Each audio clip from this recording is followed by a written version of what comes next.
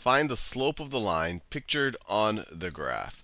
So the slope of a line is defined to be rise over run, or you could also view it as change in y, change in y over change in x over change in x. And let me show you what that means. Change in x.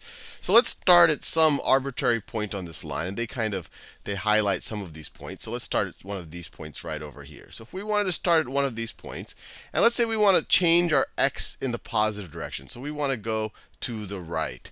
So let's say we want to go from this point to this point over here. How much do we have to move in x? So if we want to move in x, we have to go from this point to this point. We're going from negative 3 to 0. So we're going from negative 3 to 0. So our change in x, and this triangle, that's delta, that means change in. Our change in x is equal to 3. So our change in x over here is equal to 3. So what was our change in y when our change in x is equal to 3? Well, over that same when we moved from this point to this point, our x value changed by 3. But what happened to our y value? Well, our y value went down. It went from positive 3 to positive 2. Our y value went down by 1. So our change in y is equal to negative 1.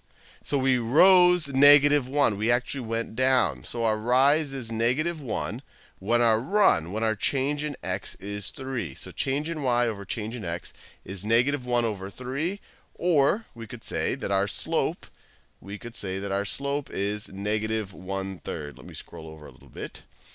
It is negative 1 third. And I want to show you that we can do this but any two points on the line. We could even go further than 3 in the x direction. So let's, let's go the other way. Let's start at this point right over here, and then move backwards to this point over here, just so that we'll still get the same result. So to go from this point to that point, what is our change in x? So our change in x is this right over here. Our change in x is that distance right over there.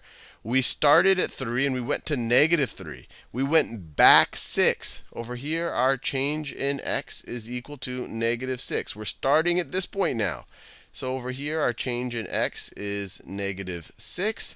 And then when our change in x is negative 6, when we start at this point and we move 6 back, what is our change of y to get to that point?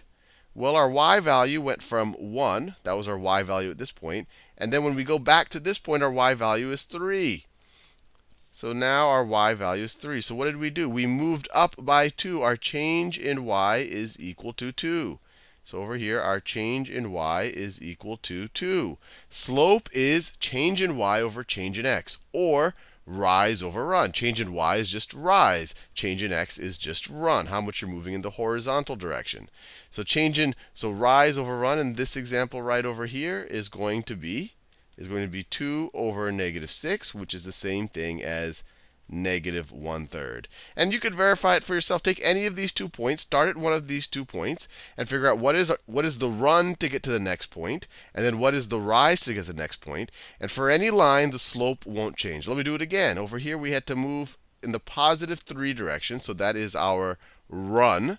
So this right here is positive 3. That's our run. But what's our rise? Well, we actually went down, so we have a negative rise. Our rise is negative 1. So we have negative 1 as our rise. We went down. And our run was positive 3. So our slope here is negative 1 third.